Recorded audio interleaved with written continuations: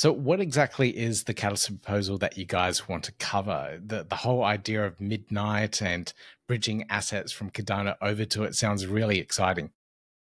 Yeah, well, as you know, um, everyone's excited for the launch of Midnight. It's being positioned as the first partner chain for for Cardano. Um, and while there is, you know, some observability between the two chains as part of this partner chain framework, unfortunately, still in 2024, that doesn't mean that interoperability just works and that there's no um, kind of additional engineering tasks needed. So what we're proposing is to build an asset bridge connecting Midnight and Cardano so that users will be able to transfer assets between these two partner chains, similar to how we've done with Cardano and a variety of other uh, layer ones.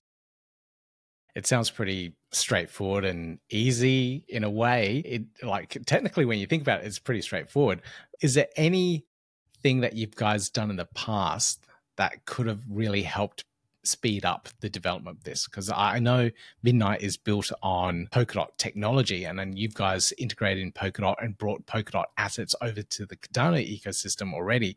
Is any of that development that has been done previously? Can that be any of that be used with Midnight? Yeah, you know, with these things, it always sounds a lot easier than it is. Certainly, we have experience with Substrate um, with the Polkadot integration. But you know, at Wanchain, especially when we're you know going through the Catalyst proposal, we want to give ourselves a little bit more of a challenge.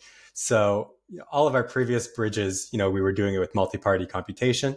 With Midnight, there's a few unique characteristics to it that will allow us to make a zero proof relayer. So rather than using multi-party computation, we're going to try to build this bridge that uses uh, zero knowledge proofs, basically. So a ZK bridge. So there's a few kind of brand new novel components that'll be included here. That means you need to have a ZK verifier on Cardano. You need a ZK verifier on Midnight, and then you need like a proof server off-chain component that actually generates the proofs. So, you know, this helps kind of increase the trustworthiness of the bridge, or, you know, technically would reduce the trust necessary in it because you're relying on cryptographic proofs. So this is really very different from a lot of our other bridges. So, with this zero knowledge proofs on the bridge, does this give a level of privacy for the people that are using the bridge as well?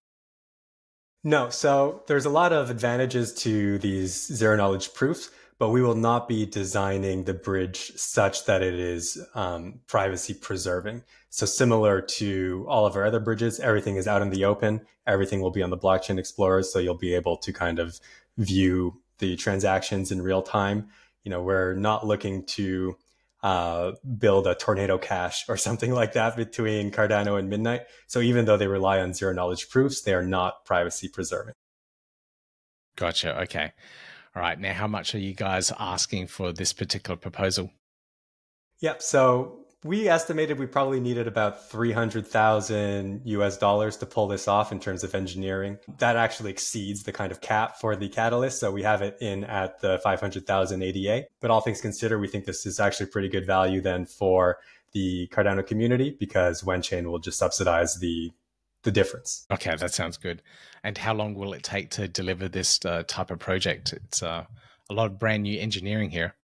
Sure. We, we've given ourselves um, 12 months on the Catalyst. The primary reason for that, though, is because the Midnight mainnet hasn't launched. And so what we are promising to, to deliver is a bridge on mainnet. So that will be the biggest driver. In terms of kind of hard engineering, you know, we'd probably do it in about um, half that time.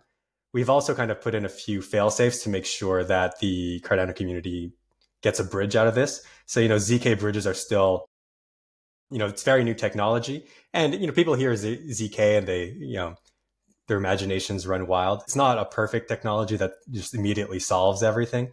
So there will still be some obstacles that we'll have to solve along the way. But as part of the proposal, we've also included a failsafe that should ZK bridge prove to be not impossible, but just has too many trade-offs to make it really kind of a functional product at this time. We will also then deliver uh, bridge between Cardano and Midnight that leverages our existing bridging technology, the, the, the multi-party computation that we use to secure all the other bridges to Cardano. So no matter what, there will be a live token bridge between the two chains. All right, brilliant. Really good to hear. I can't wait for Midnight to launch and having this uh, level of interoperability with the bridge and being able to move assets back and forth is also really appealing as well. Temujin, thank you for sharing everything around the Catalyst proposal. My pleasure. It's always uh, It's always a treat to speak with you, and uh, thanks everyone for listening.